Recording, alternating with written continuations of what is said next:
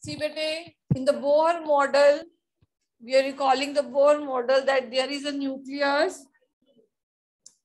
In the nu around the nucleus, there are shells. Nucleus में अब bore ने proton और न्यूट्रॉन दोनों बोल दिए थे क्योंकि न्यूट्रॉन की भी डिस्कवरी हो गई थी और इलेक्ट्रॉन रिवॉल्व करते हैं इन शेल्स में सर्टेन रूल्स के साथ। ऐसे नहीं रूल्स ऐसे नहीं रिवॉल्व करते कि जब तक ये अपने ऑर्बिट में है, एक एनर्जी लेवल में है, आप अपने स्टेयर केस पे खड़े हो, तब तक आप ना एनर्जी लूज कर रहे हो, ना गेन कर रहे हो। जब आप लो स्टेयर केस से अपर स्टेयर केस पे जंप करोगे, तब आपको बाहर से एनर्जी चाहिए, अब तक ग्लूकोज पियोगे। ठीक है? वैसे ही इलेक्ट्रॉन जब तक अपने ऑर्बिट में घूम रहे हैं, एक फिक्स्ड एनर्जी से घूम रहे हैं और जब एनर्जी वो एब्जॉर्ब करते हैं तो वो अपना लेवल छोड़ के ऊपर जंप करते हैं। अब कौन से अगर फ़र्स्ट स्टेयर केस में आप खड़े हो बेटे, अगर आपने लास्ट स्टेयर केस पे जाना है तो आपको ज़्यादा एनर्जी की ज़रूरत है। इन द सेम वे कि आप कितनी अमाउंट ऑफ़ एनर्जी एक पर्टिकुलर एटम को प्रोवाइड करते हो, क्योंकि इलेक्ट्रॉन लोअर लेवल से हायर लेवल तक एक्साइट करें, वो अमाउंट पे डिपेंड है। अगर आप कम दोगे तो कम लेवल तक जाएगा, अगर ज़्यादा दोगे तो ज़्यादा लेवल तक जाएगा। ठीक है? मगर जब तक अपने ऑर्बिट में है, अपने शेल पे है अपने एनर्जी लेवल पे है, ना उसने एनर्जी इमिट करनी है, ना रेडिएट करनी है, वो डिस्क्रीट एनर्जी लेवल है। They are stationary energy level stationary रुके हुए जिनकी एनर्जी रुकी हुई है, एक पर्टिकुलर वैल्यू है एनर्जी की। ठीक है जी? मगर जब आप इलेक्ट्रॉन को एनर्जी प्रोवाइड करते हो when you will provide the energy तब वो अपना लेवल छोड़ के नेक्स्ट लेवल तक। लेवल तीन, चार, पाँच छ नहीं है। There infinite number of level you can't defined n infinity तक। Energy level is it up to infinity K L M आपको सिर्फ़ बोहर ने जस्ट उसने स्टडीज़ करी तो आपको मिल गई अभी कैसे है? आई टेल यू आफ्टरवर्ड आप इसको एन वन फ़र्स्ट लेवल को एन वन या के कहा जाता है। तो सेकेंड लेवल को n is equal to two तो एल कहा जाएगा। फिर n is equal to three M बोला जाएगा। ठीक है? तो ऐसे एनर्जी लेवल बने हुए हैं। अब इनको शेल्स बोला जाता है क्वांटम में, या ऑर्बिट्स बोला जाता है। और ये शेल्स हैं। समझ आ रही है? एक शेल में जब तक इलेक्ट्रॉन घूम रहा है, उसका मोमेंटम भी उसकी एनर्जी भी, उसका रेडियस भी इवन शेल का रेडियस भी एक डेफिनेट वैल्यू रखता है। वो हम प्लस वन में करते हैं। सब कुछ एक डेफिनेट वैल्यू होती है। जब तक एक पर्टिकुलर शेल है। समझ आ रही है? मगर जब आप, जैसे मैंने आपको एग्जांपल दी, वो डिपेंड है आप कितना ग्लूकोज पीते इलेक्ट्रॉन उतना ऊपर, वैसे कितनी इलेक्ट्रोमैग्नेटिक रेडिएशन फ्रीक्वेंसी जिसे एच म्यू कहते हैं वो कितनी प्रोवाइड करते हो, उस पे डिपेंड करता है आपका जो इलेक्ट्रॉन है अपना ग्राउंड लेवल छोड़ के। जिस लेवल पे वो प्रेजेंट है, वो एक्साइटेड लेवल पे जाएगा। एक्साइटेड का मतलब है जो उसका खुद का लेवल नहीं है, आपने एक्साइटेशन एनर्जी प्रोवाइड करी है बाहर से। मगर अल्टीमेटली हर एक इलेक्ट्रॉन जो एक्साइटेड लेवल पे गया है, उसने ग्राउंड लेवल पे आना है। और वो फिर से एनर्जी इमिट करता आएगा। एनर्जी अमिट करेगा। अब बोर ने हमें सर्टेन रूल दिए इलेक्ट्रॉन को इन शेल्स में डालने के लिए। उसने टू एन स्क्वेयर का रूल दिया हमें।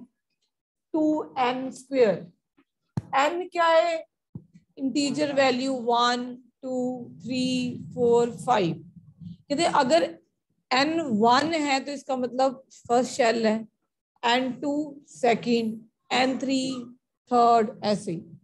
अगर मैं एन की वैल्यू वन पुट कर दूँ तो मेरे पास आंसर आता है टू तो इसका मतलब फ़र्स्ट शेल में टू इलेक्ट्रॉन्स आ सकते हैं, उसके ज़्यादा नहीं। जैसे मैंने आपको पहले भी चैप्टर समझाया था, आपको समझाया था कि एक एक स्कूल है जिसमें मान लो टेन क्लासेस हैं तो फ़र्स्ट क्लास में टू स्टूडेंट्स आ सकते हैं, वो इतनी छोटी है। फिर सेकेंड क्लास में एट आ सकते हैं। थर्टी फिर थर्ड क्लास में एटीन आ सकते हैं। फ़र्स्ट पहले ऑक्यूपाई होगी तो उसके बाद सेकंड ऑक्यूपाई होगी। ये नहीं कि सेकंड पहले ऑक्यूपाई होगी। ठीक है? फिर फ़र्स्ट सबसे नज़दीक है प्रिंसिपल रूम के, सबसे पहले वो ऑक्यूपाई होगी। यानी कि लास्ट में भेज देना आपको। नहीं, ऐसा कुछ नहीं है। एनर्जी लेवल में तो सबसे लोएस्ट एनर्जी में पहले जाएगा, फिर हाइयर में फिर उससे ऊपर ऐसे एनर्जी लेवल बनते जाते हैं। अगर सेकंड शेल की बात करें तो यहाँ पे अगर आप टू वैल्यू फ़ीड करो तो two two four four two eight तो एट इलेक्ट्रॉन सेकंड शेल में आएँगे। मगर फ़र्स्ट पहले फ़र्स्ट शेल ही कंप्लीट होगी। फिर थर्ड शेल में 18 इलेक्ट्रॉन आ सकते हैं। ठीक है जी? थ्री थ्री जार नाइन नाइन टू जार एटीन ठीक है?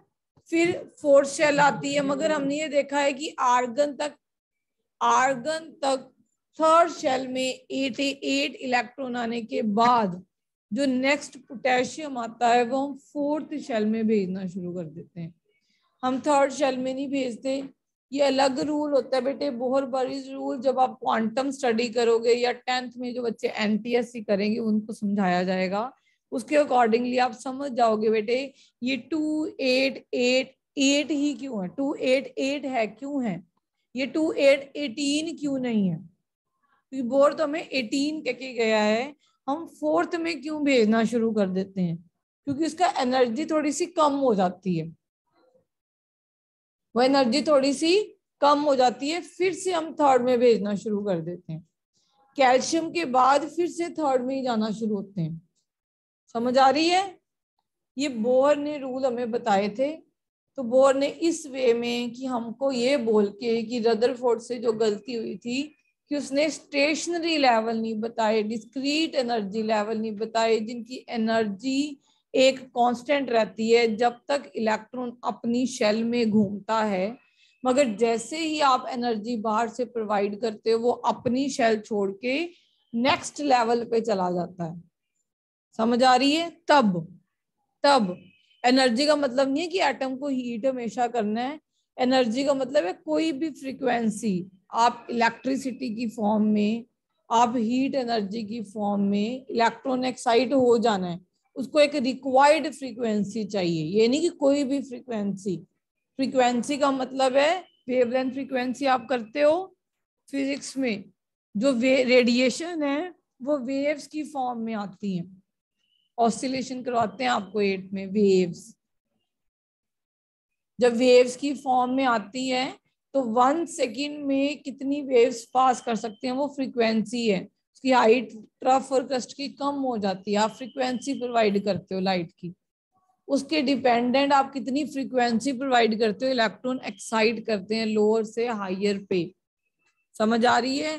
ये अगर इस चैप्टर में देखा जाए बेटे कुछ भी नहीं है nothing three theories J J Thomson जो हवा में है पुडिंग मॉडल है वाटरमेलन मॉडल है जिसमें वाटरमेलन में सीड्स लगाए हुए हैं। सीड्स आपने माने हुए नेगेटिव और पूरा वाटरमेलन माना गया है पॉजिटिव सफियर कोई स्टेबिलिटी नहीं है इस मॉडल में कोई एक्सपेरिमेंटल एविडेंस नहीं है नथिंग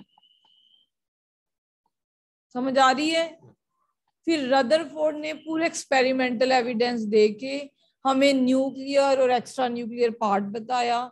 एक्स्ट्रा न्यूक्लियर पार्ट में उसने हमें ये बताया कि जो इलेक्ट्रॉन है, वो एक्स्ट्रा न्यूक्लियर पार्ट में रिवॉल्व करते हैं और मोस्ट ऑफ़ द जो वहाँ पे पार्ट है, वो एम है। समझ आई? फिर आ गया न्यूक्लियर पार्ट न्यूक्लियर पार्ट वो पार्ट है जिसमें most of the mass concentrated है। वो सेंटर में लाई करता है और वो मैसिव पॉजिटिवली चार्ज है। और उसकी से गलती क्या हुई? उसने प्लानिटरी मोशन पे ये मॉडल दे दिया। वो कहता भी सन के राउंड जैसे प्लैनेट घूमते हैं, वैसे शायद न्यूक्लियस के राउंड इलेक्ट्रॉन घूम रहे हैं। उससे यही गलती हुई है। वो ये कंपेयर करना भूल गया कि प्लेनेट में कोई चार्ज नहीं है इलेक्ट्रॉन में चार्ज है। जब एक चार्ज मतलब चाबी दे के आपने कोई टॉय छोड़ा होता है तो जब वो अनवाइंड होएगी तो आखिर उसकी एनर्जी लूज होएगी और आखिर से वो फॉल डाउन कर जाएगा। तो वैसे ही अगर किसी कोई चार्ज है इलेक्ट्रॉन एक चार्ज स्पीशीज है, जब वो घूमेगी तो उसको इलेक्ट्रोमैग्नेटिक रेडिएशन अमिट करनी चाहिए और अल्टीमेटली उसको न्यूक्लियस में गिर जाना चाहिए, क्योंकि सेंट्रीपिटल फोर्स लग रहा है, वो अंदर की तरफ़ खींचना चाहिए उसको। और आखिर उसको गिर जाना चाहिए, ऐसा कुछ नहीं हुआ। तो बोर्न इसको, इसी कंसेप्ट को एनहांस करते हुए, इसी को ही न्यूक्लियस बोलते हुए, बस एक्स्ट्रा न्यूक्लियर पार्ट में शेल कह दी डिस्क्रीट एनर्जी लेवल कह दिए डिस्क्रीट शेल्स कह दी ऑर्बिट्स कह दिया इनको, जो मर्ज़ी बोले इन तीन मॉडल्स का टेस्ट है ना आपका मंडे को? इन तीन मॉडल्स का और जो इंट्रोडक्टरी पार्ट है जिसमें आप कहना ऑल रेस पढ़ते हो। इतना ही टेस्ट है आपका, और तो नहीं है। ठीक है जी? अब ले आपका टेस्ट क्या आता है आपको देखिए जरा। हाँ जी stand up Lakshya. Stand up tell me something about J J Thomson model hurry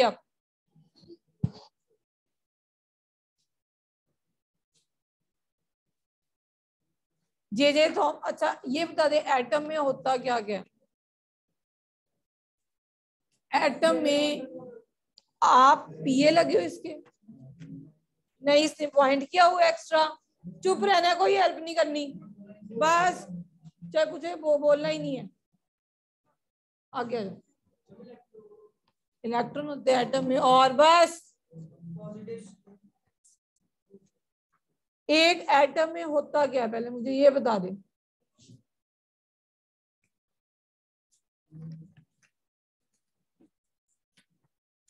एक एटम में ही सेवंथ में सिक्स में पढ़ा देते हैं, होता क्या है? एक एटम में होता क्या बेटे, मुझे पता है कि इनको क्या आता है। मुझे पूछने दो।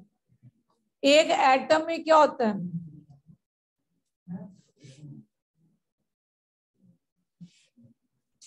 कोई मॉडल के बारे में पता ही नहीं हमें कुछ। वैसे ही पूछ लिया टीचर ने, एक एटम में क्या होता है?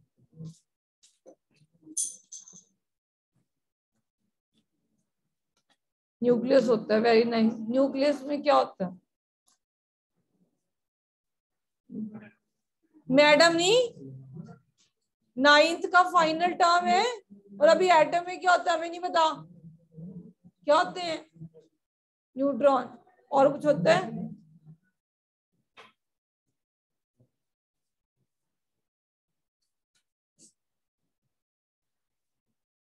और कुछ होता है?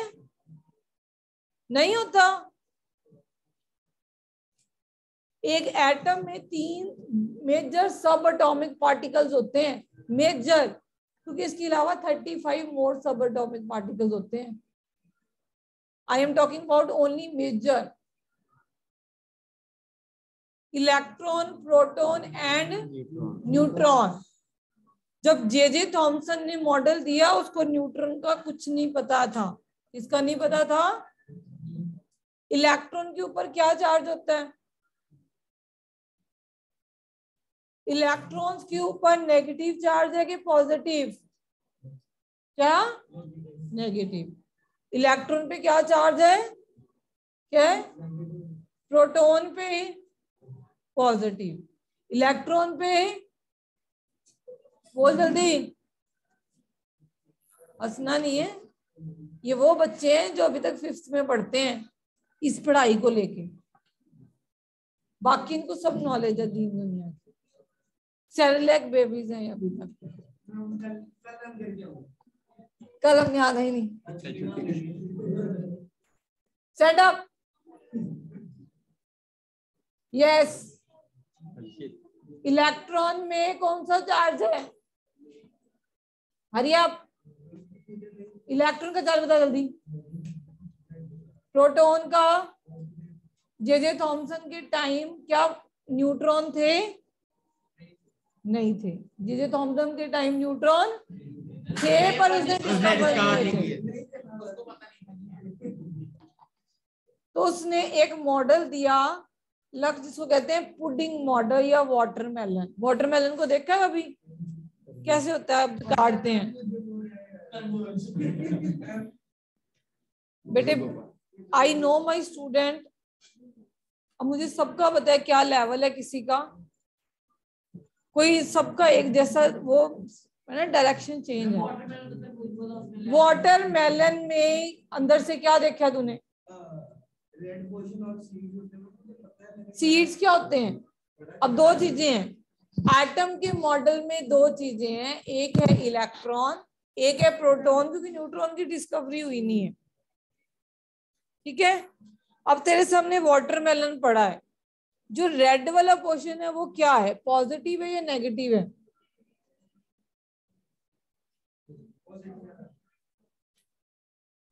और सीड्स क्या है? नेगेटिव तो अब जे जे थॉमसन का यही चीज़ें बोल यही मॉडल को थोड़ा इंग्लिश में समझा दे मुझे। कि जे जे ऐसे J J Thomson has given us watermelon model yes yes Arshi stand up तुझे मैं घूमना, तेरा ना बंद करवाती हूँ स्कूल में। अगर आज के बाद तू मुझे गेड़िया नज़र मारता वो नज़र this is not a mall this is not a mall you are here to study बाकी काम बार चलो बोलो, जे जे थॉमसन. हाँ क्या दिया था बेटे? Quiet Gurbaz stand from there वो देयर हाँ in English has given us the model which is known as watermelon model or a pudding model uh, in which the proton act as a or positive sphere in which negative charge electron are embedded in which negatively charged electrons are being embedded. Say it again. Hurry up. Say it again.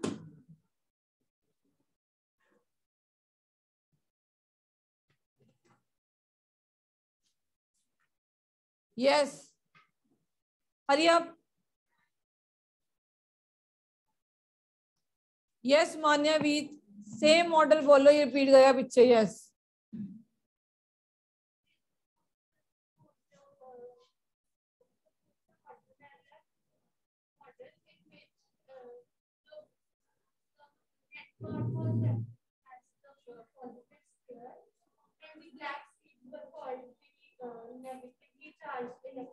Seeds नहीं as same same आप कह सकते हो negatively charge electron are being embedded in the positively charge sphere हाँ दोबारा बोल बेटे।